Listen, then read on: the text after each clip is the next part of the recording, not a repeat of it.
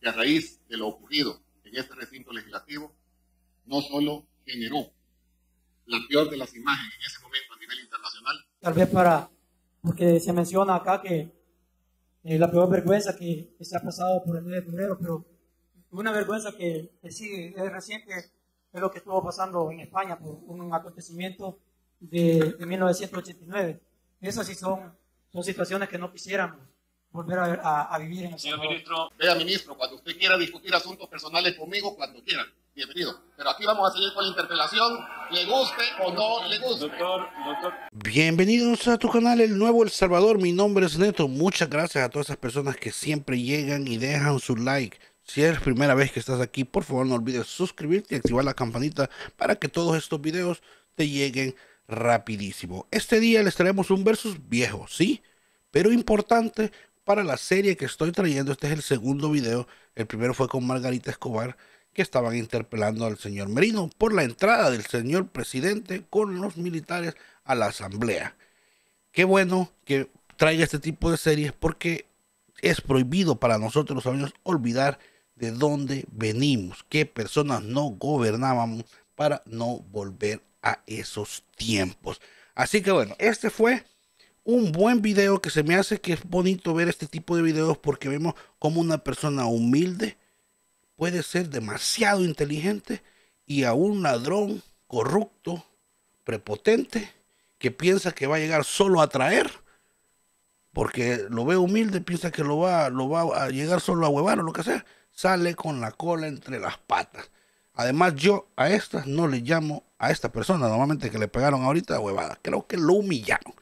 Vean hasta el final del video para que vayan entendiendo poco a poco cómo se van calentando los ánimos, ¿ok? Porque eso es muy importante para que vean por qué este Parker ladroncito se enojó tanto. Así que pónganse cómodos, vayan por sus refrescos y que comience el versus. Sobre esas bases, quisiera permitirme preguntar, señor presidente, al señor ministro de la Defensa Nacional,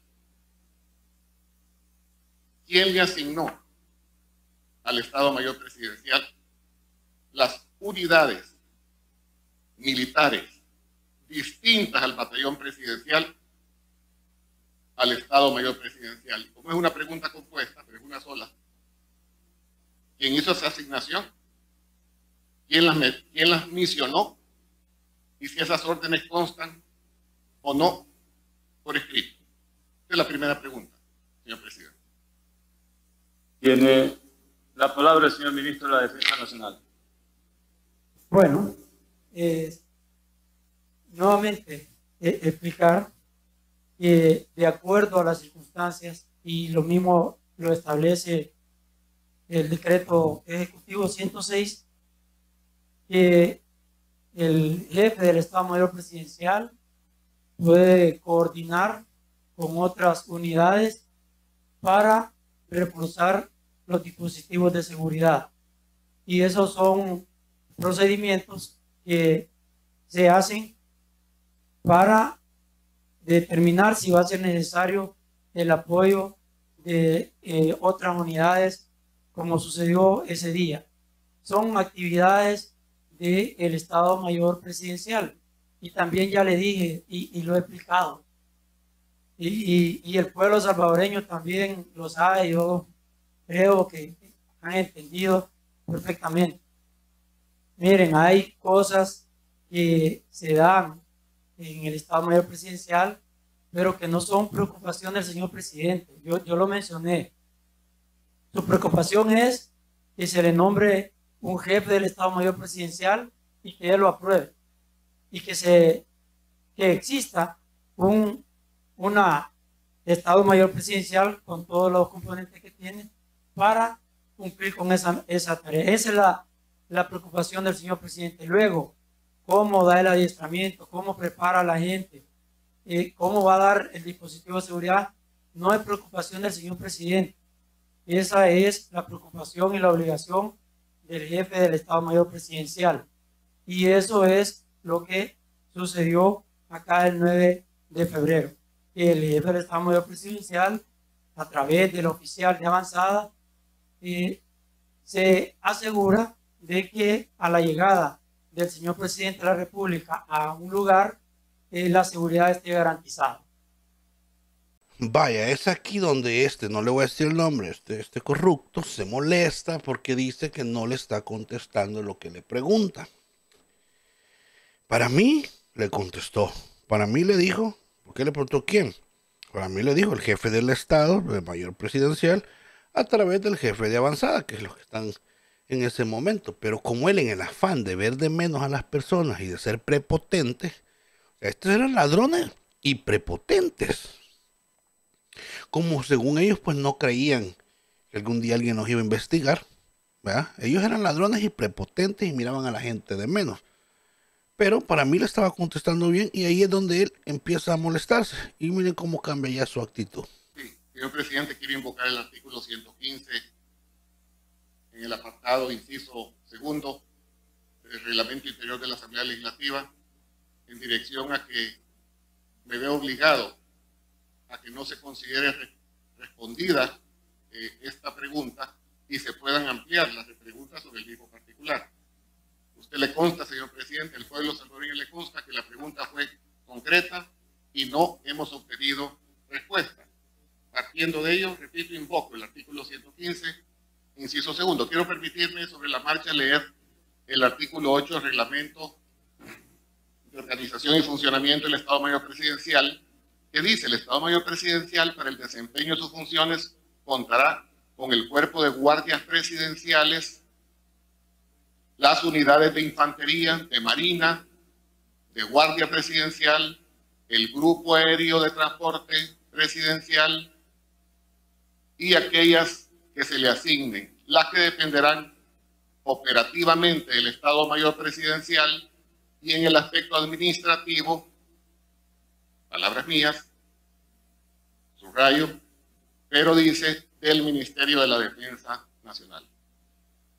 La pregunta original, señor presidente, hecha, formulada al señor ministro de la Defensa Nacional fue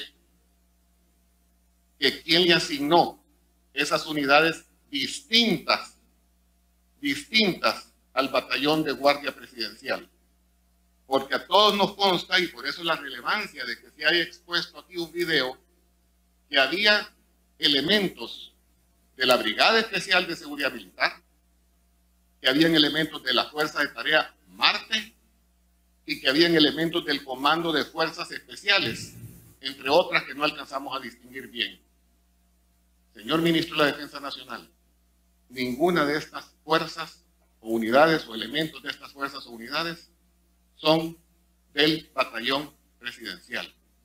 Es legítima la pregunta, compréndame por favor, señor ministro, para que el pueblo salvadoreño sepa por qué ingresaron al recinto legislativo fuerzas especiales que no tienen nada que ver con la seguridad presidencial y las unidades que sí tienen directamente que ver con la seguridad presidencial no estuvieron presentes aquí. ¿Cómo entonces eso es posible si el cometido de la presencia militar era la seguridad del presidente? Ahí hay una contradicción insalvable y necesito una, una, respuesta, señor presidente. Y reitero entonces la pregunta con el respeto debido al señor ministro de la Defensa Nacional. Cálmese, cálmese, le va a dar un ataque hipócrita. Le va a dar un ataque, a ese señor le va a dar un ataque ese día, la verdad. Vieron cómo le agarró la actitud. Se acordó de que primero le dice, por favor, ministro, y después se... ya ladraba, ya tiraba baba, men. Increíble con este ladrón, men. Increíble. Y eso, si ustedes no vieron, esta es la segunda parte de Prohibido Olvidar de la serie que estoy trayendo. Si no vieron la primera parte de la Margarita Escobar, eso ya fue explicado. Ya fue explicado. Le está diciendo quién, ya le dijo quién. Jefe del Estado Mayor Presidencial bajo lo que es el jefe de avanzada. Se le explicó que si los soldados que son del Estado Mayor Presidencial para una operación no están completos, entonces pueden hacer uso de cualquiera de las de los otros departamentos de soldados que estén cerca para complementar dicha misión, por si ellos les hacen falta tres, como cuando vas a jugar fútbol, papá, pongámoslo así, hey, nos faltan tres, ven y ayúdanos aquí. Eso, ellos hacen lo mismo. Le está diciendo quién, jefe de Estado. Nunca le dice, deme el nombre de la persona. Eso es diferente. Pero él en el afán de verlo de menos, no se da cuenta que él está haciendo mal la pregunta. Deme nombres, apellidos y cargos. No le dice quién. Pues quién, el jefe de Estado. Sigamos escuchando. Bueno, eh, desde las primeras horas de la mañana eh, manifesté que, había otras unidades que apoyaban al Estado Mayor Presidencial. O sea, no en ningún momento he dicho que no existió, pero lo que sí no puedo aceptar es que estuvieron las fuerzas especiales acá porque por casualidad la unidad fuerzas especiales no se encontraba cerca de este lugar. Entonces las fuerzas especiales estuvieron, yo creo que quizás confundió cuando estuvieron en el 2013, vinieron las fuerzas especiales acá, pero el 9 de febrero no estuvieron las fuerzas especiales unidad en este recinto, ni, ni en esta asamblea. El, el jefe del Estado Mayor Presidencial puede coordinar y, eso eh, son autorizaciones que, que, él tiene porque van orientadas a que cumpla con su misión. Cuando yo mencionaba que eh, nosotros podemos determinar qué apoyo proporcionarle a otra unidad, es cuando la unidad no tiene completas sus, sus fuerzas. Y el señor jefe del Estado Mayor Presidencial puede coordinar con otras unidades que se encuentren cercanas al lugar el refuerzo o el empleo de, dichas unidades de la manera que él eh, las considere necesarias. Y eso es lo que, lo que sucedió, pues el Estado Mayor Presidencial como tal necesitaba de más efectivos porque el dispositivo así se lo pedía, es lo que sucedió y por esa razón es que eh, hubieron otras unidades que eh, apoyaron al dispositivo. Vaya, yo creo que, bueno, ustedes están escuchando esto, lo entendieron, yo creo. Yo lo entiendo. El jefe de Estado Mayor Presidencial coordina con el jefe de avanzada, como les dije al principio. Si le hace falta, pues él puede tomar las decisiones de agarrar gente por todos lados. O sea, ¿qué es lo que no entiende este señor? Solo sabe robar. No les digo, pues, prepotente, ignorante y ladrón. Vamos a ver qué es lo que contesta. Entonces la pregunta es, ¿quién asignó y quién misionó a esas unidades distintas? Y la respuesta es, alcanzativamente hemos de entender, que fue el Estado Mayor Presidencial, nos queda claro entonces que fue el propio presidente de la República, porque el Estado Mayor Presidencial, como ya quedó registrado aquí, depende de órdenes directas del presidente de la República. Si ese es el caso, ya no tengo más que preguntar sobre este particular y ya no tengo nada que esperar de una eventual respuesta del ministro. No, espere, no, no, no, no.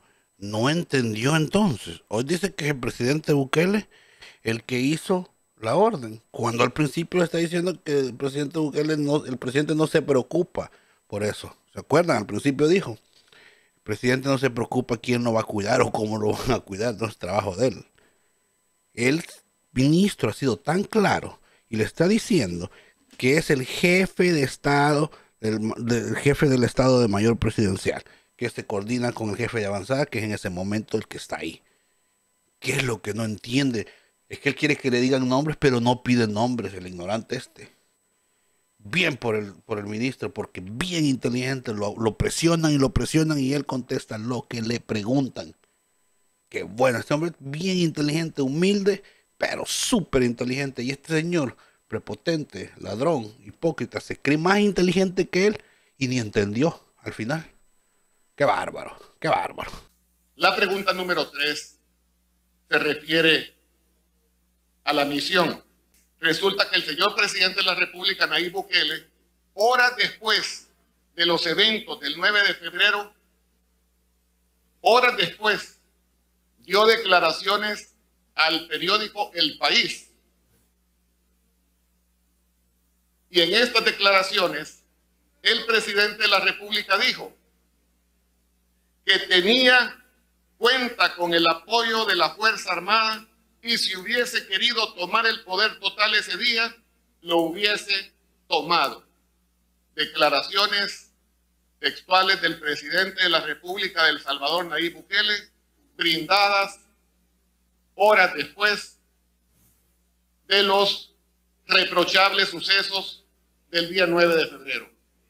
Partiendo de esa declaración, la pregunta, señor presidente, la pregunta si estaba previsto dentro de la misión de las unidades de la Fuerza Armada a partir de la operación o procedimiento utilizado por las unidades del ejército el día 9 de febrero, si estaba previsto acompañar al presidente de la República conforme sus explícitas declaraciones al país horas, horas después de haber ocurrido, si estaban dispuestas, preparadas y dispuestas, disponibles para la toma del poder total conforme fue declarado por el presidente Nayib Bukele. Esa es la pregunta, señor presidente, y me obligan a levantar un poco la voz porque están interrumpiendo. Están interrumpiendo. Gracias, presidente, esa es la pregunta. No, hombre, si este ladrón hasta para enojarse buen actor, porque él se enoja según porque el presidente Nayib Bukele hizo un acto eh, del 9 de febrero malísimo para, para la nación y, y para El Salvador, como que quisiera tanto El Salvador, no, no hubiera robado tanto, ¿verdad? Pero sí que es hipócrita hasta para enojarse, el ladrón este es bueno. Pero vamos a ver ahorita, porque ya se va a poner bueno. Aquí se agarran, ve, ve, ve, ve. Y como siempre, tranquilo, señor, tranquilo. El señor Merino, tranquilo. Y usted bien, enojado ahí. Eso demostró la inteligencia. Usted iba a huevar y salió enojado y ahuevado. Sigamos escuchando. Bueno, que el pueblo salvadoreño es testigo. ¿Cuál es el interés de saber cómo son los anillos de seguridad del señor presidente de la República? ¿Por, qué se quiere saber cómo es que se le establecen esos anillos de seguridad al señor presidente de la República? ¿verdad? Bastante dudoso. Lo otro, a pesar de que yo hablo español, en mi lenguaje materno, la verdad es que con la alteración que tenía no entendí qué es lo que me quiso decir así tan a la carrera. Y, y me gustaría que la repitiera. Vaya, ¿vio? Qué importante es eso en una, en una interpelación. Él está diciendo que por la alteración que él tiene ni le entendió. Él está tranquilo, vuelve a hacerla, pues. Con eso todavía lo van a cabronar más. Vamos a ver. Con todo gusto, vuelvo a repetir la pregunta. La pregunta parte, señor ministro de la Defensa, de declaraciones brindadas por el señor presidente de la República horas después de lo acontecido, de los tristes sucesos acaecidos el día 9 de febrero. Las declaraciones del señor presidente fueron dadas al periódico El País y fueron dadas en el sentido que si él hubiese querido tomar el poder total ese día 9 de febrero, lo hubiese tomado y que tenía el total respaldo de la Fuerza Armada del Salvador para realizarlo. Partiendo de esas declaraciones del señor presidente de la República, brindadas en el periódico El País, que constan, son públicas, cuál habría sido la misión encomendada a la Fuerza Armada en dirección a la eventualidad de la toma total del poder en el país. Esa es la pregunta. Vaya, y aquí ya viene el último round. Yo a esta parte ya no le llamo a huevada, sino que le llamo ya humillada. Ok, pongan atención, ya no voy a hablar de aquí para allá hasta el final. Y ustedes me dicen, me ponen aquí en los comentarios, esto ya, esta parte ya no era huevada. Porque la primera donde no entendía sí, pero hoy, ahorita, va a ser humillada. Escuchemos. Bueno, eh, estoy acá y el pueblo salvadoreño nos está escuchando. Estoy acá para explicar qué pasó el 9 de febrero con las unidades que le dieron seguridad al señor presidente de la República. Ya lo dije, no estoy acá para dar un examen de grado, para recibir una nota académica. Eso sucede cuando no ha acontecido algo y le preguntan, le ponen una situación a una persona para que vea cómo se desenvolvería, eh, cómo respondería, cómo resolvería ese problema. Pero no estoy acá para eso. Estoy acá para responder casos reales que sucedieron, no para suposiciones o casos hipotéticos que no han sucedido. Queridos compatriotas, no estamos aquí haciéndole un examen de grado a nadie. En esta ocasión no. Aquí estamos interpelando en nombre del pueblo salvadoreño, con base en la Constitución de la República, a un funcionario que a raíz de lo ocurrido en este recinto legislativo, no solo generó la peor de las imágenes en ese momento a nivel internacional, sino que si bien han venido a manifestar que aquí no se quebró un plato, que aquí no se rompió un vidrio, sí se rompió el sistema republicano en nuestra patria. Y eso no es cosa menor. Y por eso está aquí interpelado el ministro de la Defensa. Bueno, ya le respondí a, la pregunta que él hizo sobre qué hubiera pasado si hubieran dado X órdenes. Ya yo he explicado y, y, está demostrado que no se ha recibido nunca una orden eh, fuera de las facultades que tiene el señor presidente de la República, que nosotros estamos para respetar la ley, pero que la situación que usted me planteó fue una situación hipotética y estoy consciente de que estoy en una interpelación, pero hay un marco que regula esa interpelación y ese marco establece que yo venga a explicar qué es lo que aconteció, no de lo que pueda suceder. Y esa fue mi respuesta. Doctor Parker, tiene luz la palabra. Quizás, señor presidente, tal vez para, porque se menciona acá que... Vaya, mire esta parte, lo que va a mencionar aquí, ahí sí lo defienden a Parker, y el Sandillón Romero, como gritaba, vayan a trabajar. Se enojaron. Otro corrupto que ya está preso. Ese fue tonto, se quedó, Parque se fue huyendo. Pero ya van a ver cómo se enojan porque les tocó algo bueno aquí, miren. Eh, la peor vergüenza que, se ha pasado por el 9 de febrero, pero una vergüenza que, sí es reciente, es lo que estuvo pasando en España por un acontecimiento de, de 1989. Esas sí son son situaciones que no quisiéramos volver a, vivir en el Señor ministro, si podemos de alguna manera suscribir, digamos, las respuestas con base al 9F. Ah, eh, correcto. Y, es lo que obviamente estamos planteando. Eso lo Por favor, por favor, pido orden. Pido orden.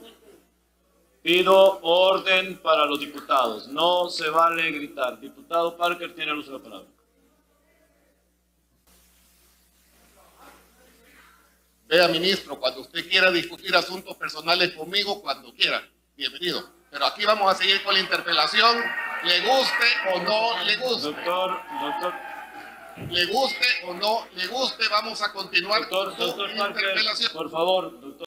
Buena, ministro, se la dejó ir hasta con todo. Y vieron cómo, cómo saltan los ladrones y los corruptos y se defienden entre ellos. Y no sé si vieron que atrás de, de ese doctor Parker, de ese ladroncito, ¿quién caminaba? El tacuacín caminaba de atrás, de adelante para atrás, de adelante para atrás, enojado también. Puros corruptos. Las asambleas que ahora estos diputados César Reyes ayer decía, y, Dinargueta y la Rosy Romero, esas eran las, las, asambleas que eran buenas. Puros corruptos. Increíble. Ladrones, sinvergüenza y bravos. Qué bueno que ya se fueron, hombre. Qué bueno. Y solo nos quedan unos cuantas escorias ahí que ya el 4 de febrero se van a ir. Yo me voy a despedir, gracias si llegaste hasta el final del video. Si te gusta esta serie de Prohibido Olvidar, dale like porque es muy bueno recordar de dónde venimos para no volver ahí. Nos vemos hasta el próximo video. Gracias.